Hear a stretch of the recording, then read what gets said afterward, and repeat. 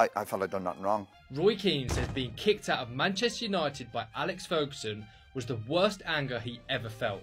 Keane shared his disgust at United for being canned in 2005 whilst on the Stick to Football podcast. The worst anger you can have is a justified anger, again, where you feel, again, I feel I had wrong. The former Manchester United captain insisted he still feels blameless for his controversial exit and was left feeling unappreciated as his 12 year spell at the club was cut short in a 10 minute heartless meeting. No, no, my gut feeling was the respect is gone between us and for all parties, but the one who was going to suffer the most was me. Keane admitted he is an angry person but did make clear the worst anger you can have is the justified anger where you feel I hadn't done anything wrong.